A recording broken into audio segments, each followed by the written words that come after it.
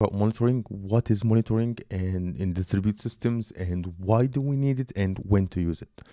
So uh, monitoring in distributed system involves the systematic collection, analytics, uh, analysis and uh, visualization of various metrics and data points related to the health, performance and behavior of the system's components and services. The primary goal of monitoring is to ensure that the distributed system is running smoothly, identify and address issues promptly, and optimize its operation. So let's talk why monitoring is crucial in distributed systems. so well, let's say that we have distributed system and we connect it with a monitoring uh, uh, system or service. What we get from that. So to know that, I just do it like that. Make it um, I want to make it left, and I want to make it with red and numbers and make it yeah make it quite small the first thing that we got from monitoring is what we call a fault detection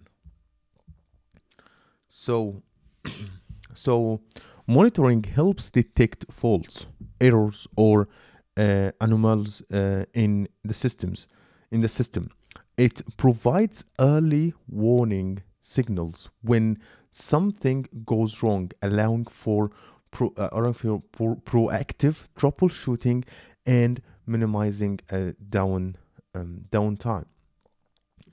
Let me just see this one. Anomalies. Anomalies. Yeah, anomalies. Anomalies. Yeah, it's not anomalies, it's anomalies. I, I pronounce it right. Uh, I pronounce it wrong. Sorry for that. So let's talk about the second thing when it comes to why we use monitoring. So the second thing it will be the performance optimization. Let me make this even smaller. So by collecting performance metrics, monitoring enables administrators and developers to identify bottlenecks and areas where system performance can be improved. This optimization contributes to be to uh, to uh, to a better user experience. Also, um, the the other thing that good about monitoring it's the capacity planning. So monitoring provides insights into resource usage, helping organizations plan for future growth, future growth or scale resources up or down as needed.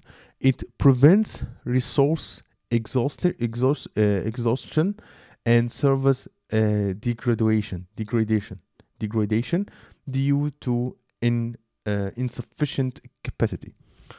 The other thing that comes we need why we need monitoring for is that resource allocation. So monitoring helps in efficient resource allocation by showing which components or services consume the most resources. This information is valuable for optimizing resources utilization, security monitoring, uh, uh, uh source utilization. Sorry, sorry for that. Um, the other thing that would be good for using monitoring is for security. So monitoring can, sorry, so monitoring can identify uh, uh, suspicious activities or security breaches by tracking access logs, authentication attempts, and abnormal behaviors. It plays a crucial role in identifying and uh, uh, mitigating security threats. So we know why we need um, uh, monitoring, and this is one of the few reasons why we need monitoring just to talk right now in high level why we need monitoring because in terms of system design interviews you don't need to know that much about monitoring. So when we use monitoring like when we need to use monitoring in our system because you will be asked in your system design interview to use like monitoring or something or something like that. So the thing that we try to use monitoring for it will be um, let me give it numbers here the, in the development and testing phase. This is the first thing that we would love to use monitoring for. So during development and testing phases, monitoring is used uh, to profile application performance and detect bugs and optimize code. also you would you will need it in de deployment and operations so um, let me just make this bigger so in production environment continuous monitoring is essential for to ensure system st stability reliability and security. It helps operations teams detect and respond to the issues promptly. It's great when it comes to scaling optimization. So as the system evolves monitoring helps determine when and how to scale components optimize configurations and allocate resources uh, effectively also you need when we need monitor when we need um, capacity planning. So um, monitoring helps organizations uh, plan for capacity upgrades or downgrades based on histor- uh, historical and real-time resources. I don't know if you can see this or not but from our previous logging video monitoring and logging the sounds quite the same and the use at the same time because and if you think that you're absolutely right because like frequently we use monitoring and logging with each other you would use both of them.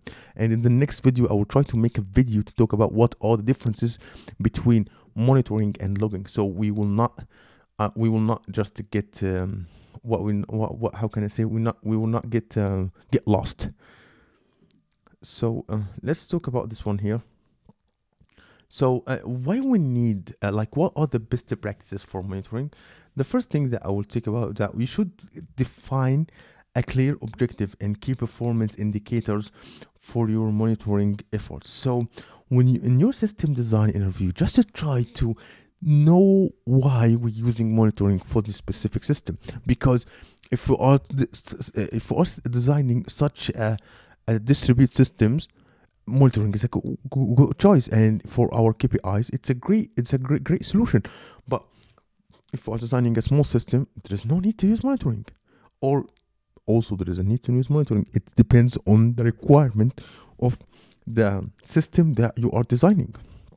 The other thing that we can talk about is that you should select the appropriate monitoring tool and solutions based on your um, on your system technology. And this one, I will say it's an off edge because you will not be asked your system design interviews about why we're using these specific tools, what are tools for monitoring. It's just that, like from my experience, mostly it will be like I'm built, I'm using the system, and in the improvement system, in the improvement section, I will say, okay, I will use this and this and that, and that's it. So, um, in conclusion, monitoring is um an integral part of maintaining a healthy and efficient distributed system. It empowers organizations to proactively, uh, proactively address issue, optimize performance, and provide reliable, real, uh, reliable and secure user experience. So that's it for today's video, and I hope you like my content. If you like my content, subscribe and hit the notification bell so you never miss a video. And see you guys in future problem.